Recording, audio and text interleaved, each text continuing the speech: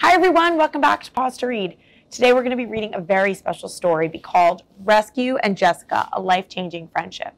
This book was written by Jessica Kensky, who's actually the main subject of the, of the story, and Patrick Downes. In this story, we follow Rescue, who is a dog in training to become a service dog. And we follow him along as he makes a new friend, Jessica, who has recently had both of her legs amputated. It's a really special friendship, and we learn about the special bond that they develop working alongside each other and helping each other. So why don't we all pull up a chair and get ready to read Rescue and Jessica. On a special farm in the countryside, a pup named Rescue was in training. He was learning to help people who could not see, but he was worried. His trainer had just said, You aren't meant to be a seeing eye dog. That was hard for Rescue to hear. Helping people who can't see was in the family business. The service dog team is better for you, his trainer said. Service dogs work beside their partners instead of in front of them. Will I be a good service dog? Rescue wondered. What will my new partner be like? Will she like me? Rescue didn't want to let anybody down. In a hospital in the city, a girl named Jessica was worried. Both of her legs were badly hurt. Everyone hoped her right leg would heal, but the doctors had to remove part of her left leg so she would be healthy again. You're an amputee now, Jessica, the doctor explained. You have to wear a prosthetic leg or use a wheelchair for the rest of your life. That was hard to hear. She had only ever walked on her own two legs.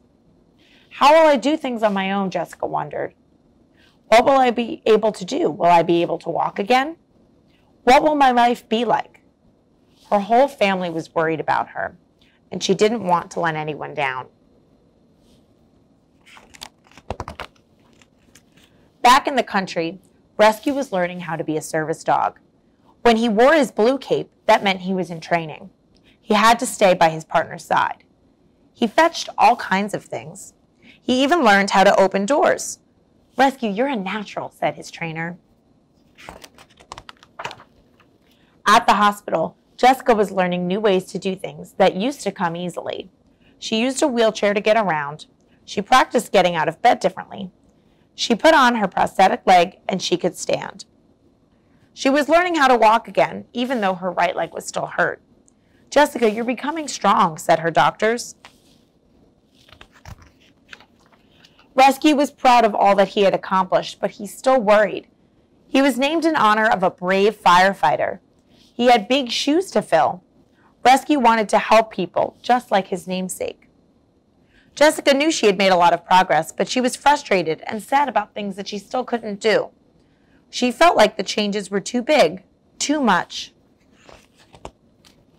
One day, a visitor came to see Jessica, and she brought her service dog, Curry. Jessica saw how a smart dog like Curry could help her. That very day, she started filling out the application to ask for a dog of her own. After a while, Jessica had got some very exciting news. Rescue got exciting news too. He also got a new red cape. Finally, the big day arrived. It's nice to meet you, Rescue, said Jessica. She looked so nice and so pretty, Rescue thought. Rescue stood up very tall. He hoped she didn't notice that his legs were trembling. But his wagging tail gave him away. Jessica smiled a big smile and laughed a big laugh for the first time in a very long time. Jessica and Rescue stayed in the country for a few weeks, and Rescue showed her all of the things that he could do. You're amazing, Jessica said to Rescue. You think I'm amazing? Rescue thought, I think you're amazing. Back in the city, Rescue and Jessica got used to working together. Rescue brought her things that she needed, he opened things that were hard to reach. Rescue barked if Jessica needed someone. If she tripped, he would hold steady so she could get right back up. Rescue and Jessica were always together, but she didn't need his help. When she didn't need his help, Rescue really liked to sleep. Jessica knew that even though Rescue was special, he was a regular dog too. She made sure that Rescue had playtime every day.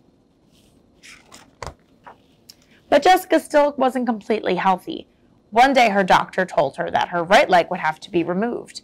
Two, she would need to wear two prosthetic legs. This didn't get any easy for Jessica to hear. The night after the doctor removed part of her right leg, Rescue knew just what to do to help Jessica all on his own. Looks like he's just giving her a hug. Rescue and Jessica had to start all over again.